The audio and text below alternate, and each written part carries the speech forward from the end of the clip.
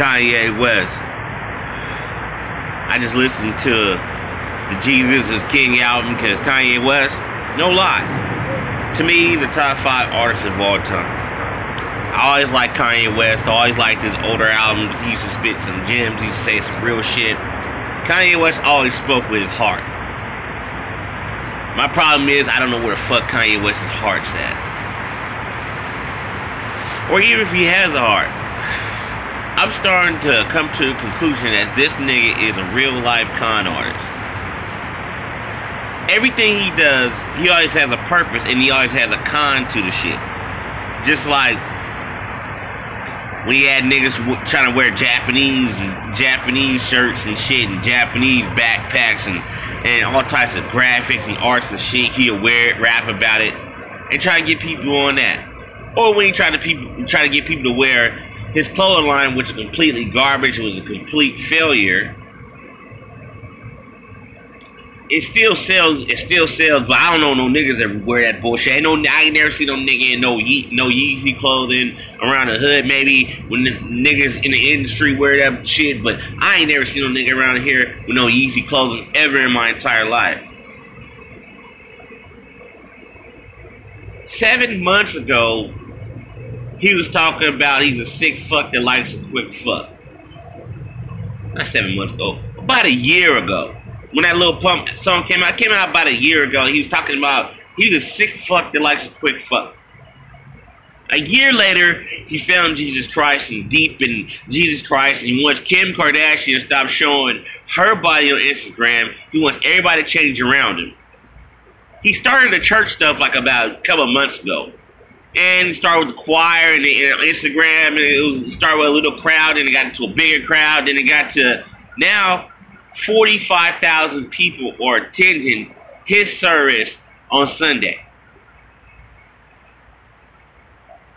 This is why I believe that Kanye West is going to turn to a servant. Uh, he's going to turn into a pastor and really rake, rake all the money because, like, what he, in the interview, what I see that he was talking about, he was talking about how the devil you know, steals his joy and how he, you know, black folks don't own rights. That's right. He's right about that. Black folks don't own rights and shit. He's definitely right about that. But at the same time, you're preaching to people about Jesus Christ. Jesus Christ, who was created, uh, uh, a, a, a being that was created by the white man to fool us to believe that there's a white man out here, the only white man in the history of life that sacrificed his life to save us. That's what y'all that's what he that's what people have us believing that. This is the only white man